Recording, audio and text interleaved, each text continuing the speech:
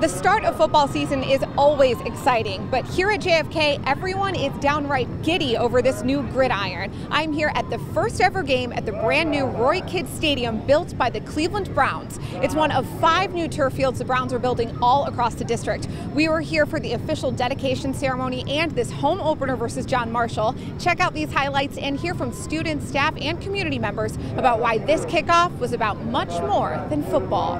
Eagle pride on three. One, two, three. It feel good. It feel brand new. We ain't never had no fans like this.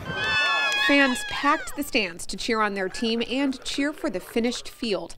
District CEO Eric Gordon and the Browns Executive Vice President of Football Operations addressed the crowd during the dedication ceremony. I ended last school year right here at JFK when we shoveled dirt out of the old field to make way for these new fields.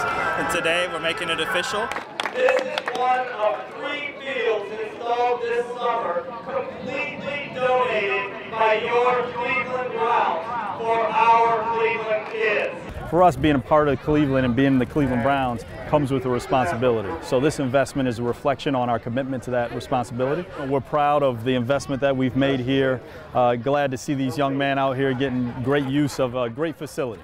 The facility, including a new, larger scoreboard donated and installed by the Browns, hasn't just helped the football players. It has the whole school motivated and focused on teamwork. It made me want to go ahead and put these cleats on and make a fool of myself out there. It's wonderful when you see uh, our kids really getting these opportunities to really experience some things that, you know, not a lot of a lot of schools experience. You know, they, they're playing on a field that's state-of-the-art field, um, and, and that makes them feel a little better about what they're doing for our school. The model's changing at JFK with having three schools in one. Something we've really been trying to put together is we're all one school. So the pursuit of excellence is something that we're all kind of breathing all together. So it's important for us to get together like this and to be able to celebrate such a, a joyous experience like this. Let's just know that though we have different schools within one, we're all united united and proud to represent JFK's new home field advantage without forgetting about the past. I was just really excited about having a new field that we can call our own, Roye Kidd over there. That's our old coach, like our coach coach. And he basically was teaching me before he passed and stuff. So he just meant a lot to all of us. He helped us out in many ways. It also means a lot to former JFK quarterback Justin Willis Sr. The class of 83 grad is now a teacher at the school, but he'll never forget his time on the old grass field with the beloved Coach Kidd. He was uh, not only a coach, he was a mentor. I wish he was here to see it. And um, this is going to into my third year here at JFK, so I actually got to sit in the stands uh, with Coach Kidd at some of the games before he passed away.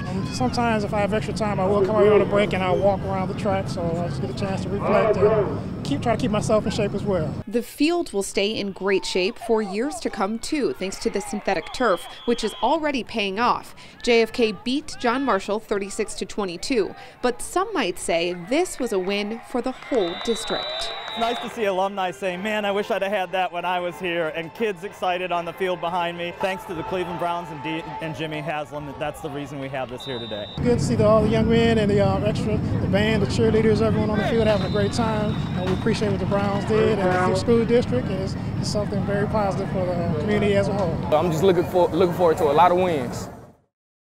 All the Senate League teams will get a chance to play on these brand new fields. Two more dedication ceremonies are planned for this fall, and two more fields will be completed next year by the Browns.